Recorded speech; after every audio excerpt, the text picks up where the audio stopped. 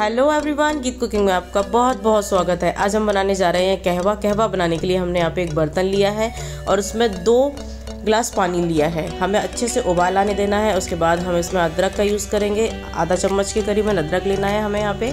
बहुत ही हेल्दी होता है अदरक, ये आपको भी पता है। दालचीनी दो चम्मच दो स्टिक के करीबन लेनी है हमें। और इस बादाम लेंगे हम कटे हुए दो। और इसे हम अच्छे से उबाल आने देंगे। अगर आपके पास सेफ्रॉन है तो आप यूज़ कीजिए अदरवाइज़ इसको स्किप कीजिएगा। और इसके बाद हम इसमें ग्रीन टी का इस्तेमाल करेंगे। अगर आपके पास ग्रीन टी है तो आप यूज़ करें अदरवाइज़ आप नॉर्मल टी का भी इस्तेमाल कर सकते हैं। दूध का आप इस्तेमाल नहीं करेंगे, शक्कर का आप इस्तेमाल नहीं करेंगे। अगर अगर आपको इस्तेमाल करना है तो आप हनी का इस्तेमाल करें, शहद का इस्तेमाल करें। दो गिलास पानी, एक गिलास रह जाए तो समझिए हमारा कहवा बन के तैयार है। ये कफ में बहुत आराम देगा आपको खांसी जुकाम में। तो आप दिन में एक बार तो ज़रूर लें। थैंक यू सो मच ख्याल रखें अपना।